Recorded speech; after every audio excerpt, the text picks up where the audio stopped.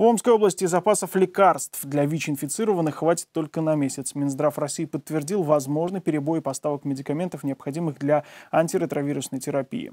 С января 2017 года препараты централизованно закупает федеральное ведомство. Раньше это делали в регионах. Покупка больших партий должна позволить сэкономить миллиарды рублей, но тендеры пока не объявлены. В общественной организации «Пациентский контроль», которая следит за соблюдением прав ВИЧ-инфицированных, сообщает, к ним уже поступили множество жалоб со всей страны. Прерывать терапию нельзя, это опасно не только для самих пациентов. В ряде регионов мы получали сообщения от пациентов, что им врачи вот говорят, что вы там уже давно находитесь на терапии, вы можете сделать так называемые каникулы.